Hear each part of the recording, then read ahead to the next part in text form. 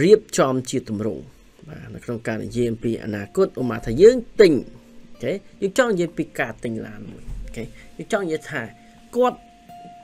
នឹងទិញឡានថ្មីមួយអូខេយើងចង់និយាយថាគាត់នឹងទិញឡានថ្មីមួយនៅពេលអនាគត okay នៅពេលដែលយើងប្រើ he is going to buy a new car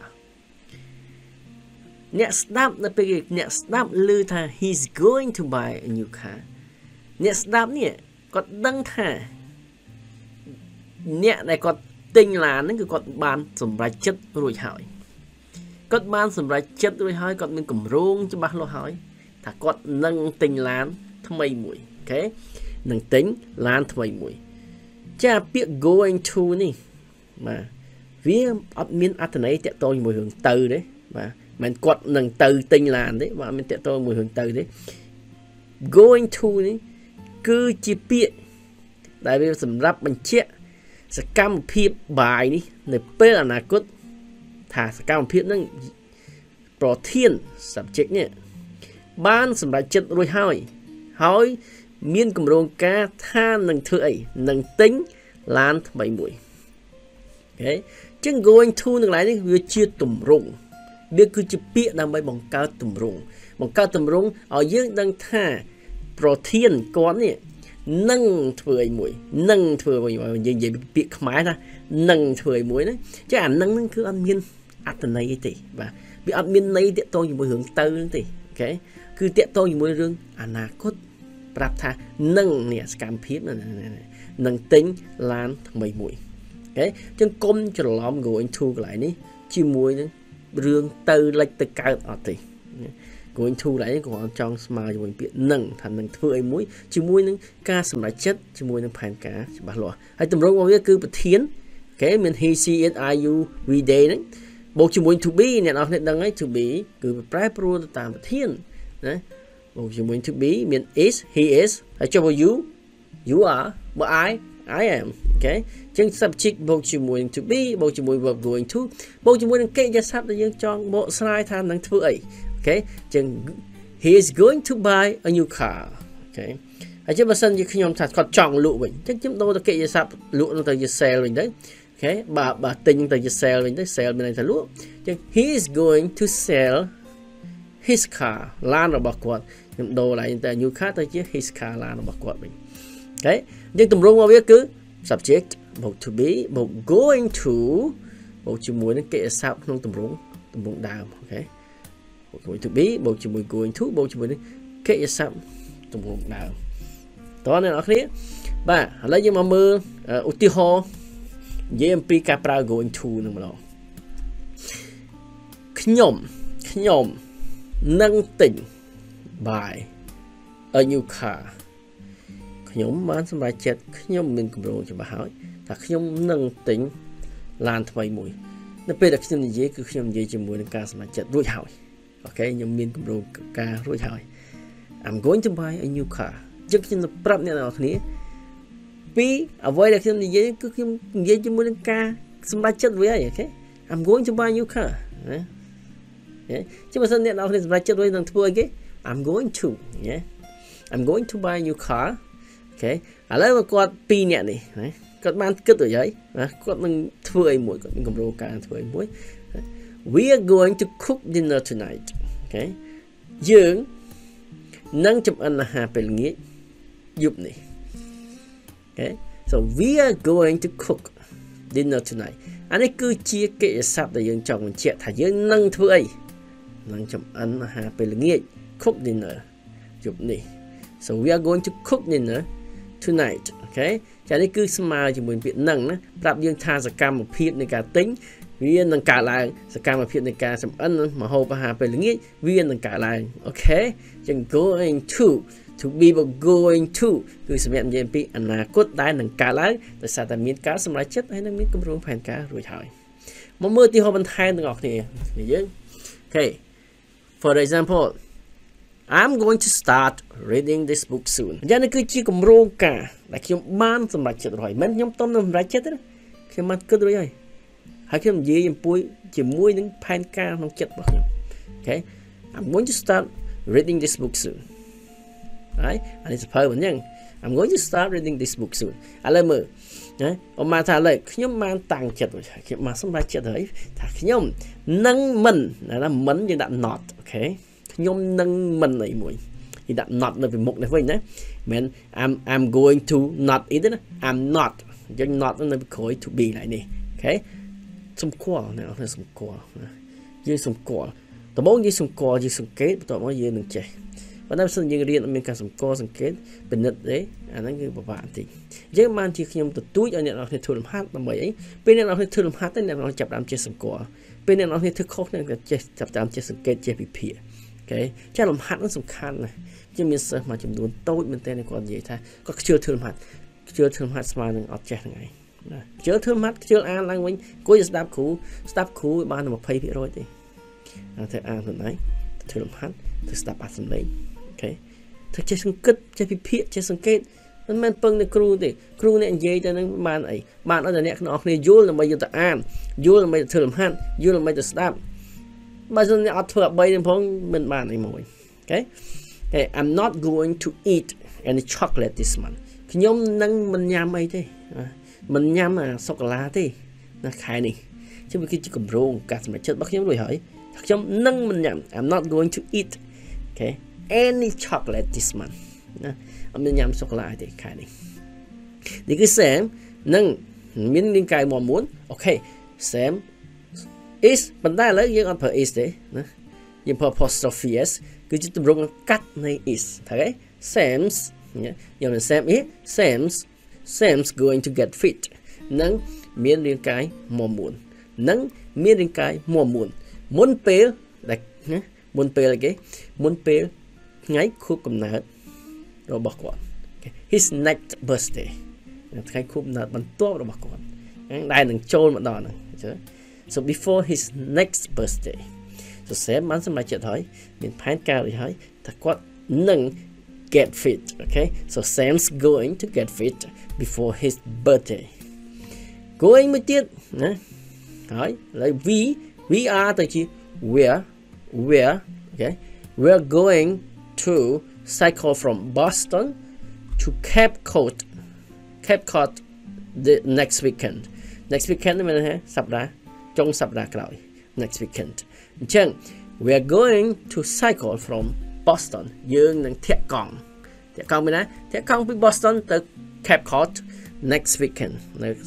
សប្តាហ៍សប្តាហ៍ក្រោយអានេះគឺយើងនិយាយជាមួយនឹងគម្រោងផែនការទាំងអស់នេះពេលដែលអានពេលដែលនិយាយគឺនិយាយក្នុងចិត្តមួយណាយើងមានគម្រោងផែនការមានការសម្រេចចិត្តរួចហើយអូខេអានេះគឺជាផែនការដែលយើងបានសម្រេចចិត្តរួចហើយអានេះគឺករណីមួយក្នុងការប្រើ going to ឥឡូវយើងមកចូលក្នុងករណីមួយទៀតអូខេ 17.3នេះតែករណីយ៉ាងដូចនេះយើងប្រើ going to ដែរក្នុងករណីយើងប្រើ going to ដែរទី2នេះគឺនិយាយអំពីការព្យាករទុកអង់គ្លេសហៅថា predictions ពេលដែលយើងធ្វើការព្យាករយើងហៅថា make predictions អូខេ verb ដែលជា collocation ជាមួយ prediction គឺ make make predictions ធ្វើការព្យាករនៅពេលដែលយើងធ្វើការព្យាករដោយសំអាងទៅលើ evidence អូខេ អំណះអំណាងផុសតាងដែលយើងបានឃើញokay បានឃើញឡើងហ្នឹងយើងប្រើវាជា be បូក going to ដើម្បីបញ្ជាក់ពីអនាគតហ្នឹង okay look at those cloud អានេះគឺជាអំណះអំណាងនេះគឺជា evidence ហេមើលទៅពពកនោះ look at those clouds it's going to rain soon វានឹងភ្លៀងឆាប់ឆាប់ហ្នឹងហើយ ហេតុអីបានជាយើងនិយាយថាវានឹងភ្លៀងឆាប់ឆាប់ហ្នឹងហេតុអីបានជាយើង make prediction ថាវានឹងភ្លៀងឆាប់ឆាប់ហ្នឹងគឺដោយសារតែវាមាន evidence វាមានអំណះអំណាងថាពពកខ្មៅពពកនោះអ៊ូអាប់ណាពេញនឹងហើយ look at those clouds it's going to rain ចឹងទៅពេលអ្នកទាំងអស់គ្នាមាន evidence ច្បាស់នៅក្នុងចិត្តយើងប្រើវាជា going to អូខេ make prediction with evidence អូខេជាមួយនឹងអំណះអំណាងអ្នកនរគ្នាមើលសិតតែអំណះអំណាងនេះគឺជេកអានេះគឺទួលវាចោតអានេះគឺវាយកូនបាល់មកនឹងត្រូវប្រអួចហើយអានេះមើលផ្លក់ផ្លាក់ផ្លក់ផ្លាក់ផងទៅធ្លាក់ចានហើយអូខេអានេះភ្លៀងទឹកប៉ុន្តែមានអាវភ្លៀងអានេះផងទៅធ្លាក់ទៅលើចដើមហើយឥឡូវនេះនៅពេលអ្នកនរសង្កេតមើលទៅឃើញថាវាមានអំណះអំណាងវាមានអង្គហេតុថានឹងកើតរឿងអ្វីមួយយើងប្រើ going to នឹងកាល oh no she's going to sleep and fall over អូអត់ទេណានាងនឹងដួលអូខេនាងនឹង sleep and fall over ហើយនឹងដួលអូខេ fall over ហើយបានយើងនិយាយចឹងដោយសារតែជ័យនេះសម្បកជ័យនេះអូខេមួយទៀត that hill is too steep steep គឺវាចោត too steep វាចោតខ្លាំងអញ្ចឹងអា hill អាទួលហ្នឹង that hill ទួលនោះ okay ទួលនោះគឺវាចោតខ្លាំងពេកហើយ John is going to crash crash គឺទៅបុក okay John នឹងបុកហើយហេតុអីបានបុកព្រោះអាទួលនឹងវាចោតពេក too steep អូខេ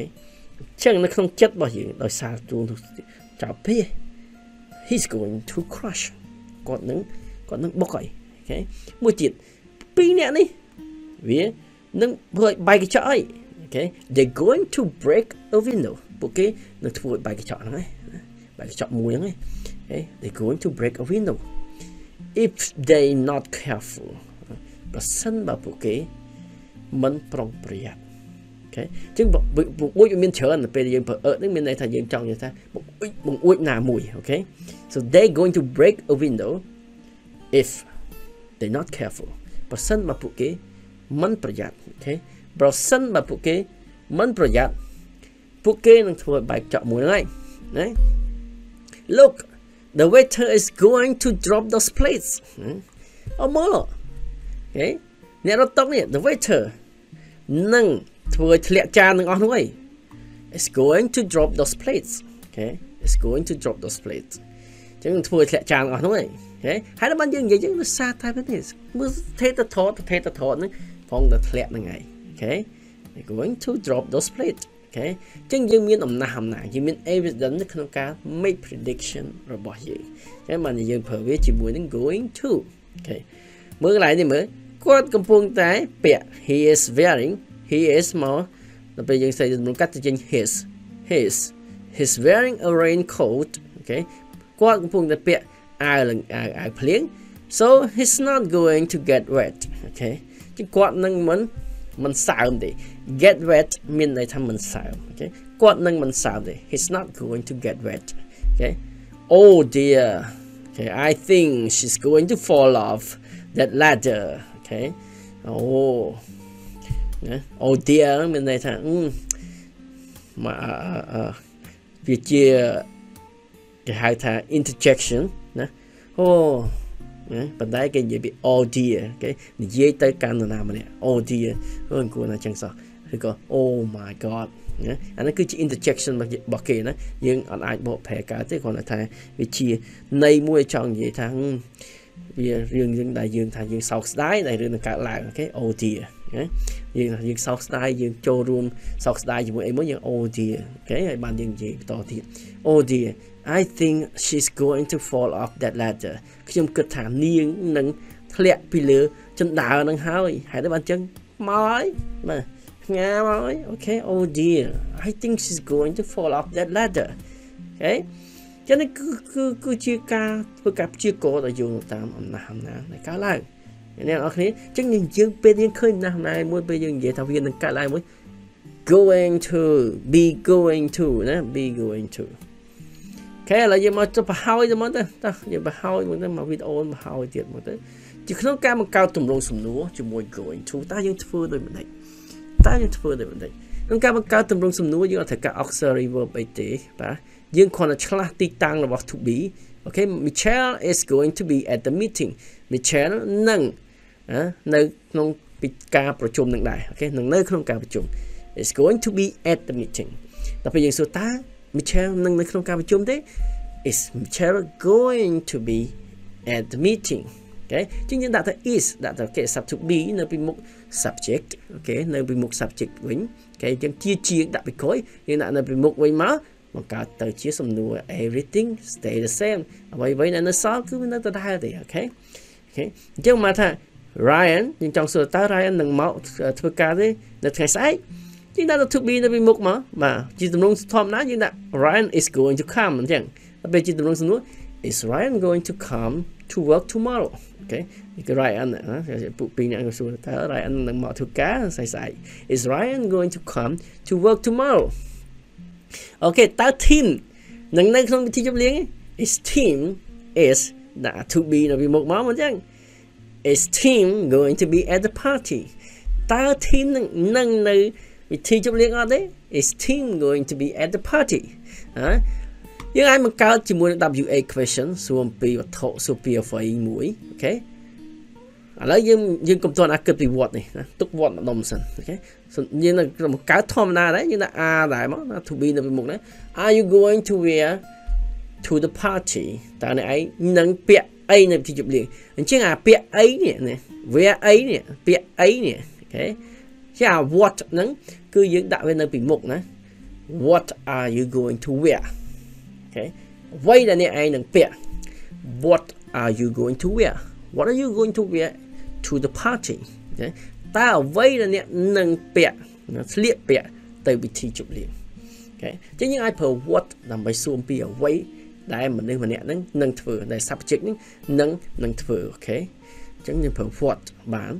យើងប្រើ WA question មួយទៀតគឺប្រើ when ដែលសួរពីពេលវេលាវិញសួរពីពេលវេលាតែគាត់នេះនឹងនឹងមកដល់ get here អូខេយើងសួរ when ហើយយើងអ្វីអ្វីយើងត្រូវដាក់ដដែលមកដាក់ជាធម្មតាក្នុងការបង្កើតទម្រង់ going to មកអញ្ចឹង when ពេលណា when is he going to get here តើពេលណាដែលគាត់នឹងមកដល់ទីនេះ អូខេ WA question វាតែទៅនៅមុខវាដាក់នៅកន្លែងនេះទេឬក៏ដាក់នៅក្រោយទេណាមិន is going to get here when ណាអញ្ចឹង when គេដាក់នៅពីមុខ when is he going to get here តែពេលណាដែលគាត់នឹងមកដល់ទីនេះការបង្កើតទម្រង់សំណួរតែពេលណាយើងប្រើ going to អូខេយើងអាចប្រើនៅក្នុងការរៀបចំគម្រោងផែនការដែលយើងបានសម្រេចចិត្តរួចហើយទី1ទី2គឺការធ្វើការព្យាករទុកដោយយោងទៅតាមអំណះអំណាងដែលយើងបានឃើញ ទី3គឺយើងត្រូវចេះមកខោតសំណួរក្នុងការសួរជាមួយនឹង future ដែលការប្រើ going to going to គឺវាដើរតួជាមួយនឹង to be អូខេតម្រងស្របយើងប្រើ to be នៅក្រោយ subject តម្រងសំណួរយើងប្រើ to be នៅពីមុខ subject អូខេដើម្បីកាន់តែច្បាស់អ្នកនរគ្នាធ្វើលំហាត់ទាំងអស់គ្នាហើយរាល់ចំណងផ្សេងផ្សេងសួរបាទសួរធ្វើលំហាត់ឲ្យដឹងតែកម្រិតយល់របស់យើងដល់កម្រិតណាហើយ សួរដល់ពេលដែលយើងសួរគឺយើងចាប់តាមចាប់អារម្មណ៍យើងចាប់តាមសង្កេតយើងនឹងទទួលបានចំណេះដឹងថ្មីបានច្រើនសង្ឃឹមថាអ្នកនរគ្នានឹងតាមដានជាមួយគ្នានៅជាមួយនឹងមេរៀនបន្តទៀតនៅជំនាញទី18បាទគុណ